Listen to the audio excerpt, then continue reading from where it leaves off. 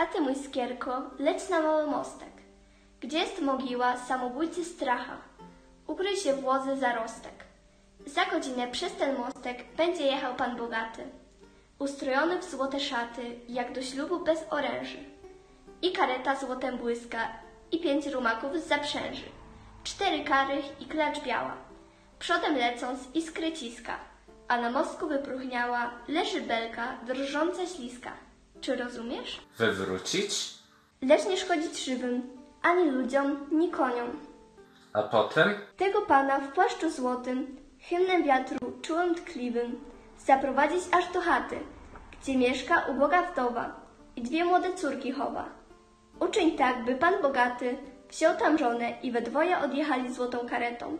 Lube skiero, dziecię moje! Dziewczyna będzie kobietą, nim dwa razy słońce zaśnie, nim dwa razy księżyc zgaśnie.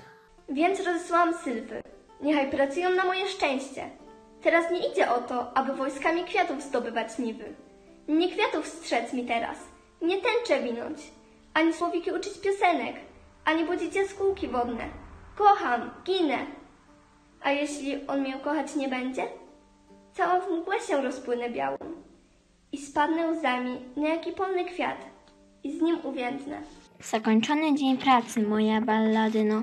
Twoje rączki od słońca całe się rozpłyną, jak lodu kryształiki. Już my jutro rano z Aliną na poletku dożniemy ostatka, a ty, moje dzieciątko, siedź sobie za ścianą. Nie, nie, nie. Jutro odpoczywa matka, a my z siostrzyczką idziemy na żniwo. Słoneczko lubi twoją główkę siwą i leci na nią, by natrętna osa do białych kwiatków. Ani go od włosa liściem odpędzić, że też nigdy chmurki Bóg nie nadwieje, aby cię zakryła. O, biedna matko! Dobre moje córki, z wami to nawet ubożna miła, a kto posieje dla Boga nie straci. Zawsze ja myślę, że wam Bóg zapłaci bogatym mężem. A kto wie, a może już o was słychać na królewskim dworze. A my tu żniemy, aż tu nagle zboru, jaki królewicz, niech i kuchta dworu albo koniszy, zajeżdża karetą i mówi do mnie, poczciwa kobieto, daj mi za żonę jedną z córek. Panie, weź balladynę, piękna jak dziewanna. Tobie się także Alino dostanie rycerza za męża, ale starsza panna powinna prędzej zostać panną młodą. W przeczuchach woda goni się za wodą. Mój królewiczu żeń się z balladyną. Gdzie ty mój grzebień podziałaś? Alino! Co ty tam słuchasz, jak się matce marzy? Wiesz, balladyno, że to jej do twarzy, kiedy śni głośno, kiedy się uśmiecha. Że ty mówisz, chata taka licha, a mnie się marzy Bóg wie nieco. Ale Bogu się także wiekuistej chwale musi coś marzyć. A gdyby też Bogu chciało się matce dać złotego zdjęcia. Ach, słychać jakiś targot na rozłogu. Jedzie gościńcem dwór jakiegoś księcia. Pięć koni, złota kareta. Ach, kto to? Jedzie aleją, jak to pięknie złoto między drzewami błyska. Ach, mój Boże, co im się stało? Wśród naszego mostu powóz prr stanął i ruszyć nie może. Pewnie chcą konie napoić. Ot właśnie, pan poje konie na drodze po prostu. Ha, jeśli pić chcą, Już słoneczko gaśnie. Trzeba zapalić sosnowe uczywo. Ach, lampę zaświeć, ach, lampę, co żywo. O, gdzie mój grzebień? cóż to, co? Ktoś puka? Otwórz balladyno. Niech siostra otworzy. Prędzej otwórzcie, ktoś do chaty stuka. Ach, ja się boję. Niech wszelki duch Boży Boga wychwala. Ja odemknę chatę. Czy w imię Boga? Tak, z Boga imieniem. Proszę wybaczyć, ale nad strumieniem mostek pod moim załamał się kołem. Szukam schronienia. Proszę poza stołem, mój królewiczu siadać. Proszę siadać. Chata uboga raczyłeś powiadać, że powóz, o, to nieszczęście. Dziewczęta to moje córki, jasny królewiczu. A to już dawno człowiek nie pamięta takich przypadków. Chyba przy księżycu młynarz, co jechał przeszłej wiosny. Matko, dosyć. Daj panu mówić. Przed tą chatką słyszałem dźwięki luteń. Czy to córki wasze grywają na lutni? Przepraszam mnie, królewiczu. Niewidzialnej chmurki, Sympatycznymi kwiaty poukraszam obie dziewice, bo moja królowa nie powiedziała, do której nakłonić serce Kirkora. Muzyka echowa zacznie hymnami powietrznymi dzwonić, a wieniec kwiatów taką woń rozleje, że serce tego człowieka omdleje, że jednym sercem dwa serca pochwala. Może królewicz chce odpocząć trochę? Odpocząć, kiedy dźwięki takie cudne słyszę? Dziewice, wasze są to pieśni? Słyszę śpiewanie. Czy się panu nie śni? Tu w chacie cicho. Ach, jakże mi nudne wspomnienie zamku pustego. Czar działa. Z jakich kadzideł ta woń się rozlała? To spewna wasze wieńce, uruszone łzami wieczora, dają takie wonie? Lecz my nie mamy wieńców. Wyprząc z dyszla konie, ja tu zostanę. Cóż to za zjawienie? Królewicz w chacie? Na jakim on sienie spać będzie? Jemu listki róży cisną. Prawdę wróżyłeś, pustelniku stary, gdzie okienkami dwie różyczki błysną, gdzie dach słomiany. Zakończone czary. Słuchajcie, matko. Na świat wyjechałem szukać ubogiej i cnotliwej żony. Dalej nie jadę, bo tu napotkałem cudowne bóstwa. O, gdybym dwa trony. Ach, powiem raczej, gdybym miał dwa serca. Lecz zdaje mi się, że dwa serca noszę. Dwoma sercami o dwie córki proszę. Ale Bóg tylko jedną wziąć pozwala i do ślubnego prowadzić kobierca. Więc trzeba wybrać, czemuż losu fala rozbiła serce moje o dwie skały. Ach, czemuż oczy pierwszej nie wybrały i nie powiodły czucia. Dziś nie umiem wybrać. Ja ciebie, panie, nie rozumiem. Proszę o rękę jednej z córek. Może słyszałaś kiedy o hrabi Kirkorze, co ma ogromny zamek, cztery wieże, złocisty powóz, konie i rycerzy na swych sługach? Otóż Kirkor to ja. Proszę o jedną z córek. Córka moja? Ja dwie mam córki, ale balladyna. Czy starsza? Jaki wybór trudny, starsza jak śniegi, uter, utej warkocz cudny, niby listkami brzozy przyodziana, ta z alabastrów, a ta zaś różana. Ta ma pod rzęsą węgle, ta fiołki, ta jako złote na zorzy aniołki, ta zaś jako noc biała nad rankiem, więc jednej mężem, drugiej być kochankiem. Więc obie kochać, a jedną zaś lubić? Lecz którą kochać, którą tylko lubić? Niech się przynajmniej z ust różanych dowiem, która mnie kocha. Moje smugłe łanie, czy mnie kochacie? Ach, ja ci nie powiem nie, ale nie śmiem wymówić tak, panie. Może ty zgadniesz, choć będę milczała. Zgadnij, rycerzu. A ty, różobiała? Kocham. Obydwie kochają. Zapewne, że muszą kochać. Tożby to dopiero, gdyby nie kochać rycerza, co szczerą, mógłby za żonę wziąć sobie królewnę, piękny i śmiały. Któraż z was, dziewice, będzie mnie więcej kochała po ślubie? Jak będzie kochać, lubić? Co ja lubię? Jak mi rozchmurzać gniewu nawałnicę? O panie, jeśli w zamku są czeluście, z czeluści ogień bucha, a ty każesz skoczyć, to wskoczę. Jeśli na odpuście ksiądz nie rozgrzeszy, to wezmę na siebie śmiertelne grzechy, którymi się zmarzesz. Jeżeli dzida będzie mierzyć w ciebie, stanę przed tobą i za ciebie zginę. Czegoż chcesz więcej? Weź, weź balladynę, szczera jak złoto. A ty, młodsza dziewo, co mi przyrzekasz? Ach, nie wiem, której oddać rękę lewą jako szwagierce, a której z pierścionkiem. O, gdybym ujrzał tę gwiazdę przedsterną, co wiodła króle do dzieciątka żłobu, serce mam jedno, a ciągnie do obu. Którą odrzucić, której być małżonkiem? Obie kochają, więc niesprawiedliwość poniesie jedna, jeśli wezmę drugą. W obojgu jedna prostota i tkliwość, w obojgu miłość jednaka zasługę. Którą tu wybrać? Jeśli mnie wybierzesz, szlachetny panie, to musisz obiecać, że mię do zamku twojego zabierzesz z matką i siostrą. Bo któż będzie matce gotować garnek? Kto ogień rozniecać? Ona nie może zostać w biednej chatce, kiedy ja będę w pałacach mieszkała. Patrz, ona siwa jak różyczka biała. O, widzisz, panie, musisz także ze mną i matkę zabrać. O, jakąż tajemną rozkoszą serce napełniła. O miła.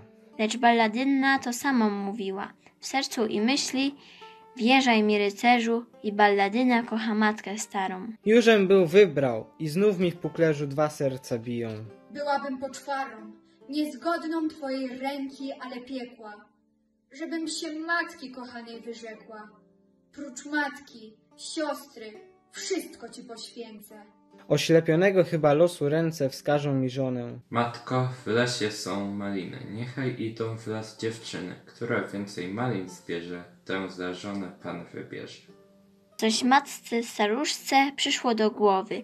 Mój ty królewiczu, to ci poradzi piękny krasnolica. Oto niech randkiem idą w las dziewczyny, a każda weźmie dzbanek z czarnej gliny. I niechaj malin szukają po lesie. A która pierwsza dzban pełny przyniesie, świeżych malinek, te weźmiesz za żonę. Wyborna rada, o złota prostoto. Ty mi dasz szczęście, niczym nieskłócone dnie rozkoszami przeplatane z cnotą. Tak, moja matko, niech o słońca wschodzie w las idą córki z bankami na głowie, a my w lipcowym usiądziemy chłodzie. Która powróci pierwsza, ta się zowie hrabini Kirkor. Sądzi sam, wielki Boże. Królewicz, znajdziesz w tej chaczce łoże, pachnące siano, zakryte bielizną. Wierzaj mi, panie, żabki się nie wślizną do twojego sianka, proszę do alkowy. Przynieś z powozu puchar kryształowy, wino i zimne żubrowe pieczywo. Bądźcie mi zdrowe, piękne narzeczone. Siostrzyczko moja! O, jakież to dziwo! O, jakie szczęście! Jeszcze niezłowione to szczęście, siostro. Może nie dla ciebie. O, moja siostro! Wszakże to na niebie. Jeśli nie słońce, to gwiazdy nad głową. Jeśli nie będę panią Kirkorową, to będę pani Kirkorowej siostrą. A tobie jutro trzeba wziąć ją ostro do tych malinek, bo wiesz, że ja zawsze uprzedzam ciebie i mam pełny dzbanek. Nie wiem, czy na mnie jagody łaskawsze same się tłoczą, czy tam twój kochanek. Milcz! Ha, siostrzyczko, a ja wiem, dlaczego malin nie zbierasz. Co tobie do tego? Nic, tylko mówię, że ja bym nie chciała rzucić kochanka ani dla rycerza, ani dla króla, a gdybym kochała, wzajem kochana, rolnika, pasterza, to już by żaden kirkor. Nie chcę rady od głupiej siostry. Ach, pełno malin, a jakie różowe, a na nich perły rosy kryształowe, usta kirkora takie koralowe, jak te maliny, fiołeczki świeże. Wzdychacie próżno, bo ja nie mam czasu zrywać fiołków, bo siostrzyczka zbierze dzban pełny malin i powróci z lasu i weźmie męża, a ja z fiołkami zostanę panną. Choćbyście wy były fiołki moje, złotymi różami, wolę maliny. Mój miły, mój miły, złoty wielki pan, mojemu miłemu niosę malin dzban, bo on woli mój kochanek, taki pełny malin dzbanek, niż zbożowy łan, och, niż zbożowy łan. Jak mało malin, a jakie czerwone by krew. Jak mało, w którą pójdę stronę? Nie wiem. A niebo jakie zapalone, jak krew. Czemu ty słońce wschodzisz krwawo? Noc wolę ciemną niż taki poranek. Gdzie moja siostra?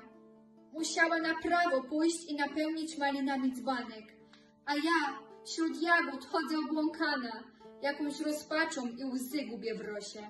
Siostrzyczko moja, siostrzyczko kochana, a gdzie ty? Jakiś śmiech, ale nie w głosie.